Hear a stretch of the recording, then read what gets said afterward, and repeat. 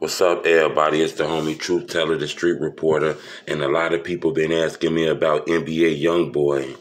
Uh, it's a lot of people that's been on the internet saying shit like NBA YoungBoy is scared of Lil Durk.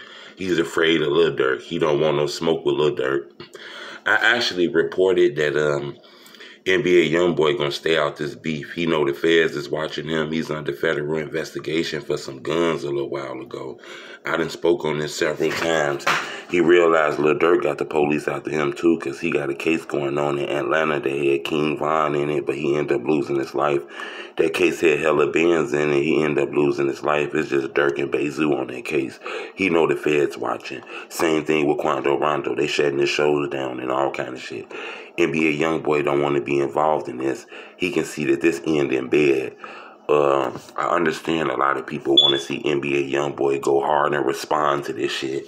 We ain't really seen it. All we seen him do was subliminals, basically, like uh, perform Quando Rondo song. Uh, let it let letting the song play on stage. The end of the story. We know that's a playoff of King Von song. Then he said he was proud of Quando Rondo when Quando Rondo put that Lil Durk lookalike in the video. So I think NBA YoungBoy is smart. If you ask me, if this case went pending for NBA YoungBoy right now, if he wasn't under federal investigation, I think he'd be on demon time right now, if you ask me.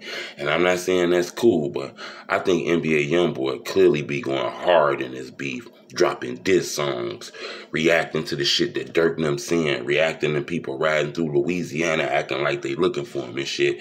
I think NBA YoungBoy go super, super, super, super hard if he wasn't involved in this case, you know. So that's why I don't want people to kind of confuse him being silent and not going along with the internet chatter as him being scared. I think he has OG people around him that knows that he shouldn't be going back and forth in this kind of beef. You got to remember, it's a motherfucking NBA young boy Kemp that got accused of killing G Money. Um, G Money real close with Fredo Bang. Fredo Bang then linked up with Lil Durk they not finna trick NBA young boy off the streets. Now he young, he got a lot of kids, so you know he be doing a wild shit. I thought he would have fell for this trick here and got the internet beefing, acting like when he see him, he gonna shoot him. And I just hear, you know, he tell his friends shit, and his friends put that shit out to the media, you know. NBA YoungBoy is very smart. He not fucking with the internet like that. You barely see him on the internet. That's because of the Fed shit. You know, he can't be playing games and shit like that on the internet. Remember, he got in some trouble for that internet shit. So he know that the police is watching his social medias.